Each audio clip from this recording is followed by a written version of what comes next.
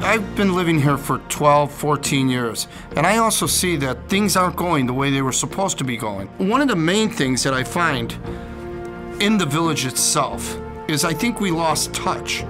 Over the past three years, as I've been traveling around in the village, I've noticed that our alleyways, they're horrible. There's no plan to fix them. What you need to do is get a plan, put it in place, and do it. That is what we need to do. We don't have that now. I've worked on the highways for over 30 years. I've worked on secondary roads and I've worked on highways and I've worked on bridges. You don't need a master's. What you need is intelligent thought. And what I bring to the table is, is that when someone comes to me and says, John, we have a water main break or we have a pothole or we need more augers or we need more plows. I've done everything that imaginable behind to work in a highway yard. I know how to bring it. And that's what I bring to the table for our community. One of the things I've noticed in the villages, our roads are deteriorating. This is ridiculous. This isn't brain surgery. What we need to do is we need to call up, we need to have a system where we call up, and if there is a pothole, it has to be fixed within 24 hours. This isn't anything that shouldn't be done right away. I mean, our streets are getting deteriorated, and that is beyond unacceptable. Code enforcement is a real problem. It has to be fair, but we need new leadership. If there's graffiti, we're gonna clean it. If there's overgrowth, we cut it down. That's what has to be done. We should also be enforcing the parked cars, the br broken down cars, the fixing the cars. Our village looks terrible. It's unacceptable. I'm John Tornabene. I'm running for trustee, and I'm very proud to be part of Bensenville First.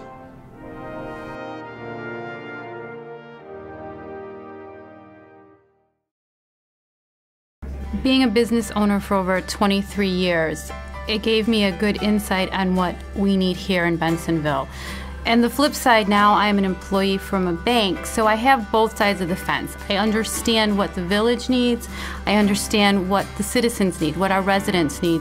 20 years ago, downtown was different. It was vibrant, it was full of business.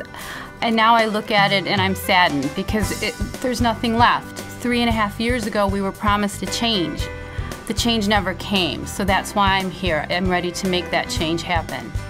When small businesses leave our town, it's less jobs for our families.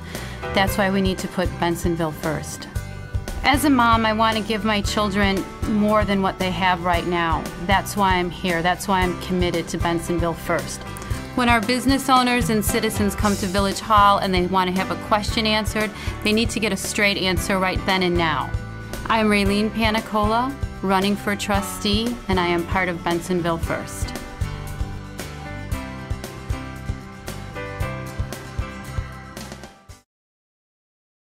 I've been a policeman for 13 years. Um, the community that I am a policeman in, I grew up in. So it's kind of a sense of pride for me, being a policeman, putting that uniform on every day. Uh, it, it's a pride thing. Um, being a resident and a police officer in this community, I realize communities change.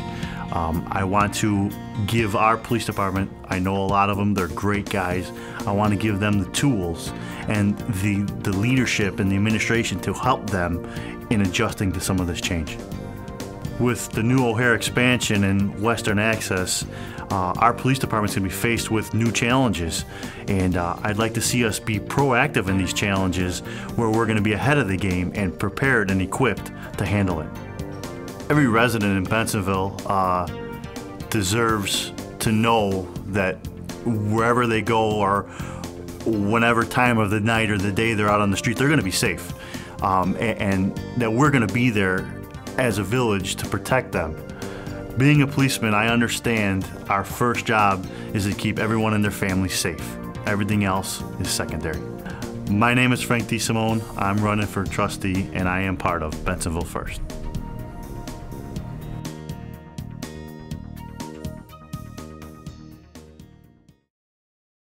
Desde 1999, cuando llegué para buscar una casa aquí en Bensenville, la llegué buscando, logrando un lugar seguro para mis hijos. Tengo tres niños, dos niñas y un niño, y estamos muy felices de poder vivir en Bensenville, una área tan buena para niños. La comunidad ha cambiado mucho. Uh, Bensenville está llena de muchas diferentes nacionalidades. Sé parte de Bensenville First. Llegué yo a Bensonville desde 1999 y estoy muy afortunada y feliz de poder ser parte de aquí de la comunidad. Para toda la comunidad latina, les sugiero y les pido que vengan a votar, que su voz también cuenta. Por favor, demuestren que su voz cuenta este abril en las elecciones y recuerden de Bensonville First.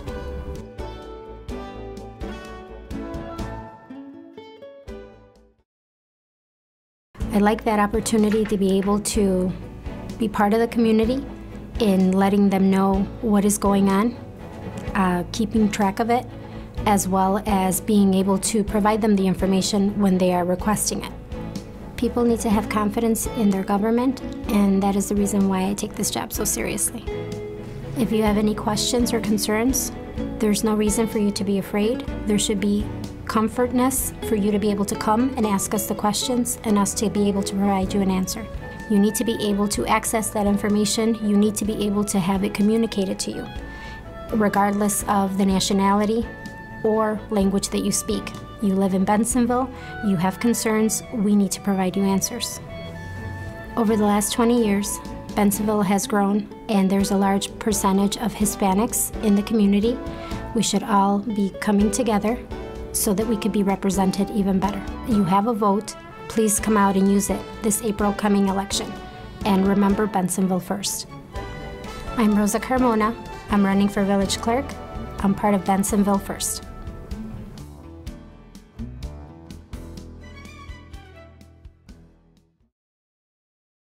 The village motto is honoring the past, shaping the future. In the past three and a half years, we haven't done that. This election, it's not about who's good and who's bad. It's about moving Bensenville forward. We want more viable Bensenville. We want more access to the government. The residents have the right to come in and have access to the government that we're running. Uh, the businesses have a better, should have a better voice how this village is run. My goal is to bring the, the whole community together, make sure that the residents and the business owner have a say in this administration. In the last three years, this administration has run away with all the finances. Salaries are too high. Uh, you know, bonuses have been allowed to be given, which that's got to stop. The team that I have assembled have real world experience that Bensenville needs. My team understands that we need quality people to run the village, but they don't have to cost an arm and a leg. Let's work together and rebuild this town. I need your help. I'm Oronzo Peconio. I'm running for village president, and I'm the leader of the Bensenville First Party.